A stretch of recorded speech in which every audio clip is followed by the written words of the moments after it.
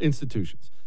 I warned over and over and over and over again once Donald Trump was elected in the institutions of America, the system really, because they all work together now, as they all went all in to defeat Trump. They didn't concern themselves with anything else, with norms, rules, what was allowed. Nothing else matters. And many of these people are on record, on record saying nothing else matters at getting rid of Trump. Trump's a unique threat, so it's going to take unique things. You, you, you did. I heard you all do it. We have to. We have no choice. It's, it's all bets are off. And I warned over and over and over again you're killing the entire United States of America because here's why. Even if even if, which he obviously wasn't, even if Trump was this unique threat, he's Hitler, he's anti, whatever, whatever you consider it to be. If you lose all of your credibility, if you burn it all in order to get rid of him, that in the end, even if you get rid of him, which in, I guess you could argue they did, that you're not left with anything because one thing corrupt leaders forget, and this is the history of the world, this is not just our country, and it's definitely our leaders now. You always, no matter your form of government, representative republic like we are, to a monarchy, doesn't matter. You always only rule with the consent of the governed. The consent of the governed. You need us. You need us to approve of you being there. And a huge part of that is trust. But here's what's happening in the country. And this is exactly what I warned would, would happen. Longtime listeners will know. Things, and I said this back then, I didn't know what they would be. Things are going to come for the nation. Problems. That's just how it works. Nations are going to have problems. There are going to be conflicts, famines, wars, open wars, flat out. There are going to be disasters, natural and man-made. There are going to be there's going to be another virus. There's going there are things that are going to come for our nation in the future.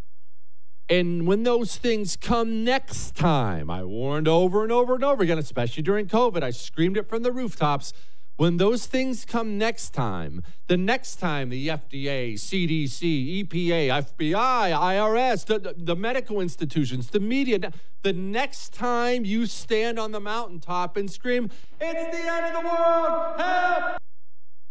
Or the next time you stand on the mountaintop and scream, It's fine, don't worry, we checked it out, it's good.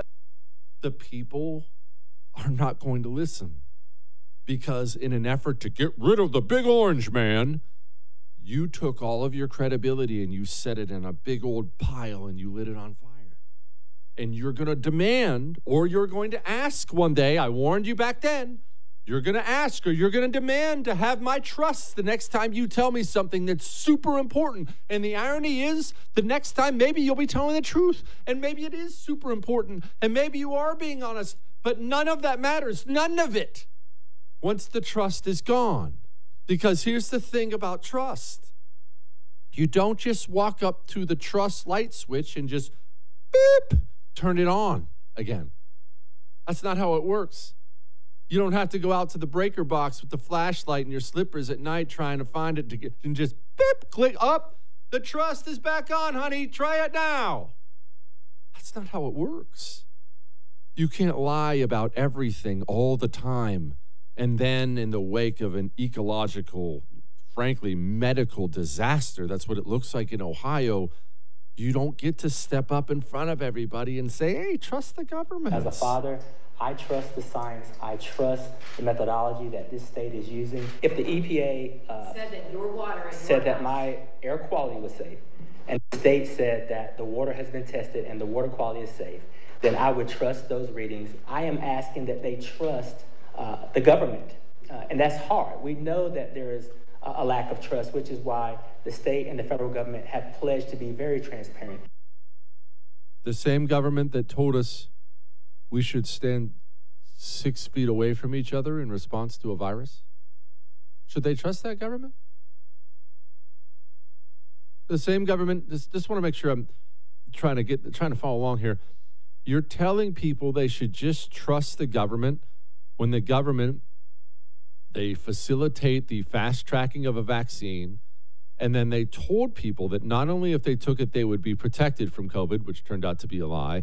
They told people if they took it that they wouldn't spread COVID, which turned out to be a lie. In fact, they were so sure of it, they told you you'd be fired if you didn't take it. Remember, the only point in a mandate is if it stops the spread, which it never did. So again, I want to come back to this.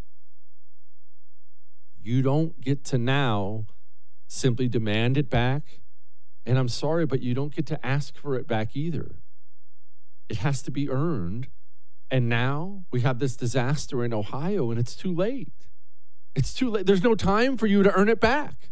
That doesn't help anybody now. That's the problem.